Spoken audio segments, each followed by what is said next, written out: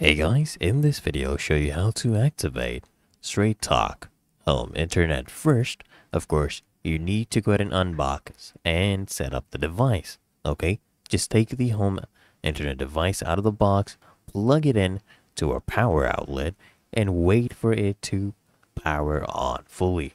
Okay, the lights should basically stabilize first.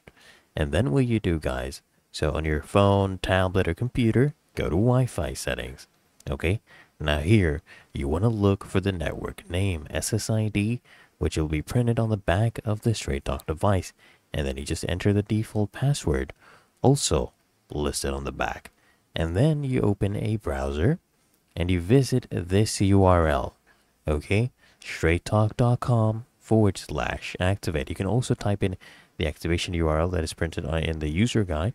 And then what I need you to do is select home internet from here and then enter the device's serial number or IMEI, right?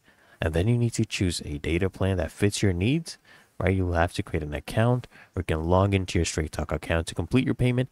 And after you go ahead and do the payment, guys, your device will activate automatically within a few minutes. You just want to wait for the signal light to show strong connectivity and then you're good to go right? And if you want, you can also go ahead and download the Straight Talk My Account app to manage your data payments and check usage. Very easy. So I hope this guide provided value to you, and if it did, consider smashing that like button, as well as subscribing to frequently asked questions, and I'll see you in the next one.